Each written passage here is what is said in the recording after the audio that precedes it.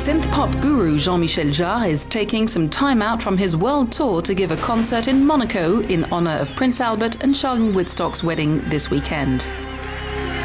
Jarre says events like these are important to bring people together and lift their spirits in these difficult times. Euh, At a time when people are filled with dismay and news is often bad, I think we need to dream. We need princes and princesses.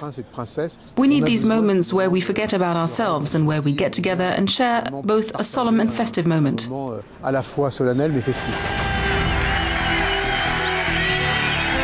The concert will be a massive sound, light, and laser show with fireworks and video projections, which is expected to draw tens of thousands of people to the heart of Hercules Harbour in Monaco.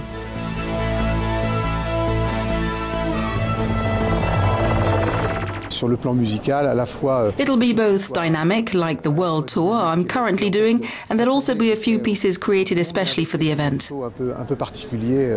Euh, qu'on va faire pour l'occasion. You can watch the concert Jean-Michel Jarre live in Monaco, live here on Euronews this Friday.